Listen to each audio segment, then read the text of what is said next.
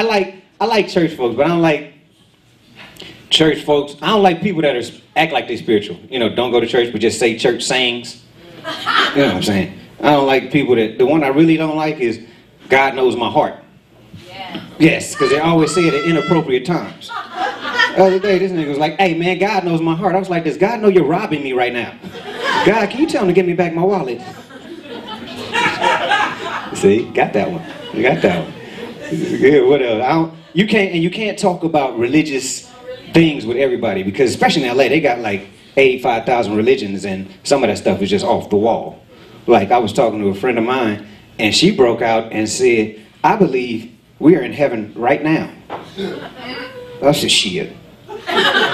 Got offended. I was like, no, no, nigga, I don't have no nine to five in my heaven. Matter of fact, I wake up when I want to in my heaven. I wake up right around brunch, which is free in my heaven. like in my heaven, my cable don't get cut off.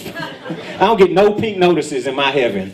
you know what I'm saying? Know, I don't have no four dollar a gallon gas in my heaven.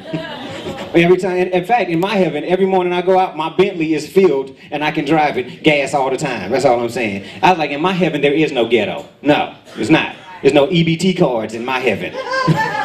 I'm saying. I was like, I'm an actor, and in my heaven, I book every gig I go out on. Matter of fact, I don't even have to audition. They just show up and say, what we shooting today, Mr. Kente, Washington, Hanks, Pitts, Freeman. Because that's my name in my heaven. Man, 'cause- and, and, and I'm not single in my heaven. I have a concubine and a wife and a mistress in my heaven. it's my heaven, I don't care. God knows my heart.